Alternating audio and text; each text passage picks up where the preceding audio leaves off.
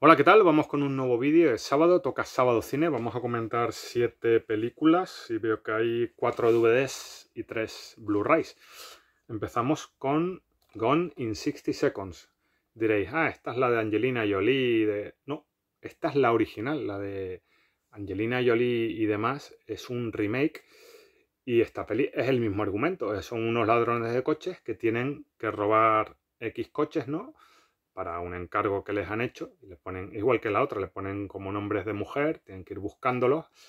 Y la peli esta realmente es impactante porque en realidad es una peli indie y no se nota prácticamente. Está hecha por, por un señor que le dio por hacer la película en el año 1974, que hizo el encargo, robar 48 coches deportivos y clásicos. El reto, caer en manos de la policía.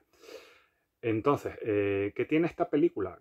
Que yo digo que el argumento es lo mismo, obviamente se ve que no es una superproducción, pero en ningún momento se ve cutre, y tiene una persecución final que dura 40 minutos y es un espectáculo, o sea, es tremendísimo. Si os gustan las películas de coches o con persecuciones, o simplemente el cine en general o los coches clásicos, porque esta está hecha en el año 74, obviamente los coches modernos son del año 74, o sea, van a ver coches realmente curiosos, y yo os digo que la persecución final con la poli metiéndose por todos lados, el coche, que es este, ¿no? El último que tenían que robar.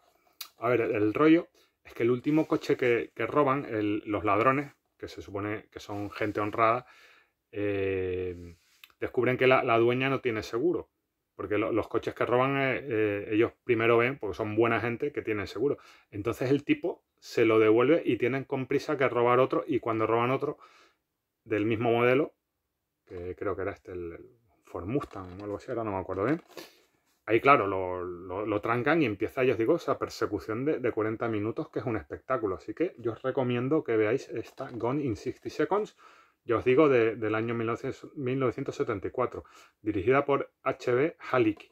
Y, al final de la peli salen imágenes del tipo y narra un poco cómo consiguió rodar la peli, pero bueno, la verdad es que esto es un, totalmente un, un, triunfo, ¿no? Una persona que dijo voy a hacer una peli y le salió una peli, pues realmente interesantísima. Bueno, una película del gran William Wyler, eh, Audrey Hepburn y Peter O'Toole, pues dos grandes estrellas, como robar un millón. A ver, Audrey Hepburn, Hepburn, obviamente es una delicia verla. Es la hija de un falsificador de obras de arte, muy, muy gracioso. Y el tema es que van a poner una, una Venus, ¿no? Sabéis que es la estatua esta de mármol romana, la Venus de, no sé qué, es en Francia, eh, en París. Se la piden prestada mm, al padre, porque no saben que es una falsificación, para exponerla en un museo. Entonces el padre dice que la, porque la van a tasar para el seguro, entonces se van a dar cuenta que es una falsificación. Entonces manda a la, hija para que, para que robe la, figura y ahí se junta con Peter O'Toole, que se, supone, pero luego vamos a ir viendo otras cosas, que es otro ladrón que entra en la casa y es una peli pues, de, un robo, ¿no? En, un museo, con, mucho humor, con algo de, romance y realmente una peli muy, muy divertida. Del año, creo que es del, 1966. Como robar un millón, a ver si viene el título original por aquí. Bueno, como robar un millón. Bueno, ahí vemos a Peter O'Toole que no sale en la portada, solo sale Audrey Hepburn, que tenía más tirón, ¿no? En la época. Un nuevo caso para el detective Conan, eh, The Blue Fist of Sapphire. Pues nada, aquí es un robo de, una joya y eh, como en, Singapur.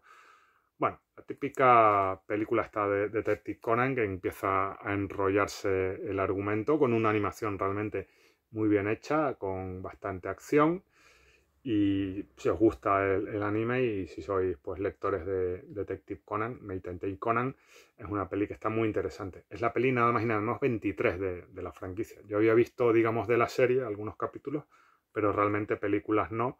Y era una película, eh, bueno, larguita, de, del 2019, 110 minutos. Y la verdad que está, está bastante interesante. Hay un torneo de karate también por medio y de un amigo, bueno, típicas cosas, ¿no? Para rellenar el argumento, pero que está bastante bien. Vamos con una película noruega eh, que se llama Max Manus, Man of War. Aquel título es un poco... No me gusta directamente el título. Y es una película noruega que realmente eh, puede pasar por una película, digamos, hollywoodiense en cuanto a calidad, efectos, y es de, de la resistencia noruega en, en, la Segunda Guerra Mundial. Sabes que los nazis ocupan Noruega y obviamente como en todos o casi todos los países ocupados por los nazis, pues hay una resistencia que intenta sobre todo eh, sabotear a los nazis y este hombre pues empieza así haciendo cosas un poco cutres, pero bueno, acaba viajando a, Inglaterra y la inteligencia británica pues les proporciona más medios y, se ve pues cómo, luchan ahí contra los nazis en, territorio noruego y la peli la verdad que está, está muy bien, o sea que es bastante recomendable se va a ver el antes, el durante y el, y el después ¿no? de, la, ocupación de los nazis en Noruega. A ver, novio por una noche.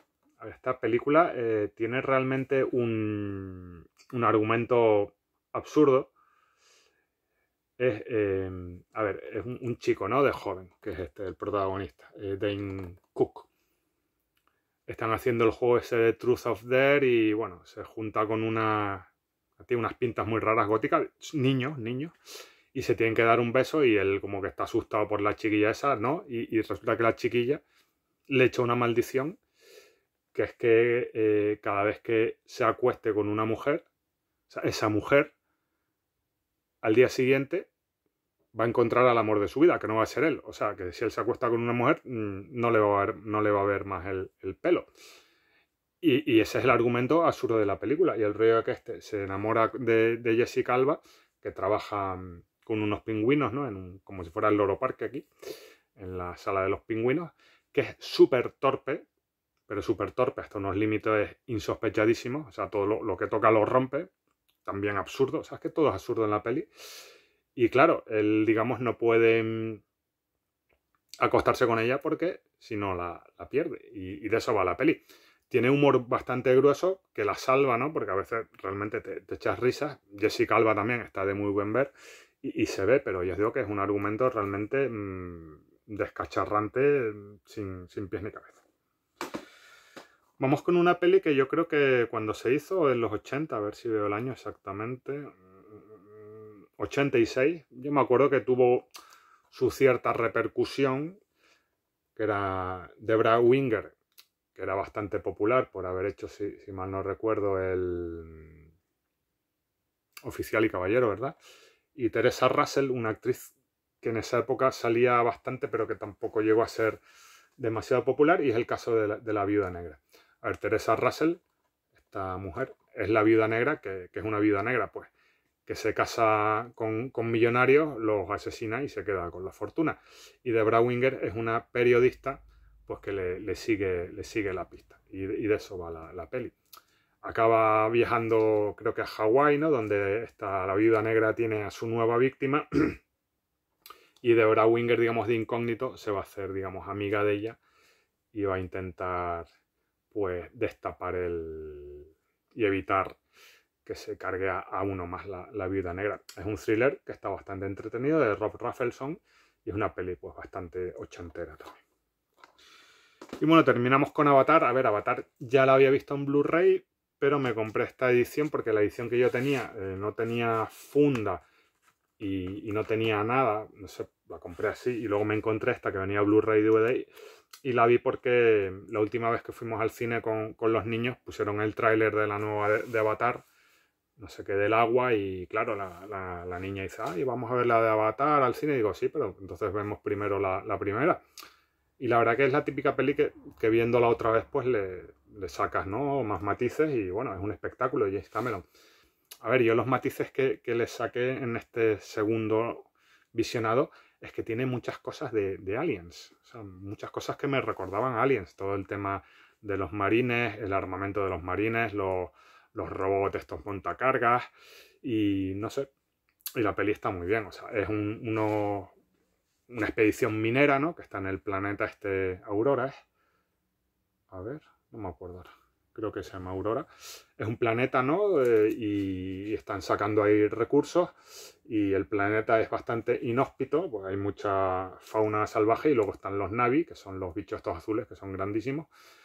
Y, y claro, el tema que, a ver, es una película con trasfondo bastante de ecologismo y tal, porque lo que ellos hacen al planeta, ese planeta está todo, digamos, interconectado y, y, los navis estos obviamente quieren echar a, los humanos y los humanos han hecho los famosos avatares, que son con ADN navi humano hacer como unos navis falsos dirigidos por, por, humanos, ¿no? Con la mente, para intentar convencer a los navis de, que les dejen expoliar su planeta.